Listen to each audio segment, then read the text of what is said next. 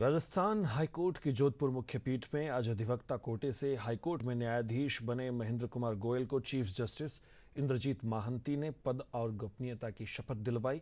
इस मौके पर जोधपुर हाईकोर्ट के तमाम न्यायाधीश, राजस्थान हाईकोर्ट के अधिवक्ता, जिला न्यायिक अधिकारी सहित हाईकोर्ट का स्टाफ भी मौजूद रहा।